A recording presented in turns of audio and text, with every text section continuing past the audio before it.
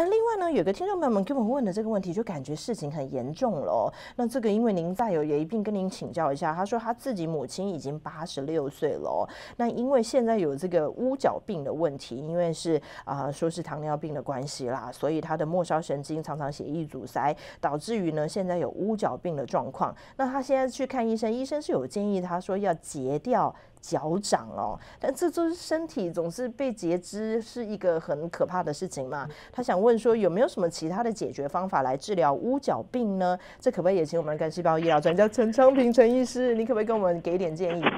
是的，这个哈，它这个其实就是我们所谓糖尿病的并发症啊。哦，因为糖尿病会造成血管变小嘛，嗯，所以血流就减少了，所以到末端的脚。常常就有伤口，伤口就没办法愈合。好，我看他的状况应是应该是这样子。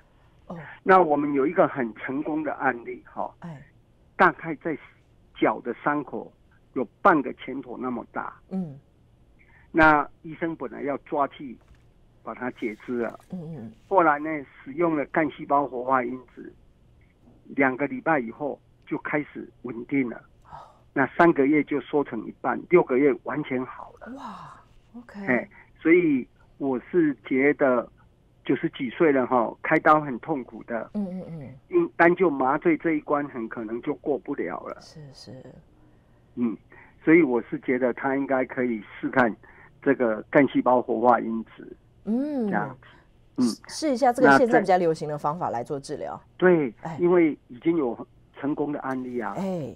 哎，对，同时这个除了让他的伤口愈合以外，他体力会变好，嗯，精神会变好，其他各个地方都会改善，嗯。那因为九十多岁的最怕的是，就久久卧在床上不起来，哎是，哎，然后会造成肌肉萎缩，哇，甚至于那个会造成褥疮，好，就是因为卧在床上嘛，哦，屁股那里就这样子，所以这个。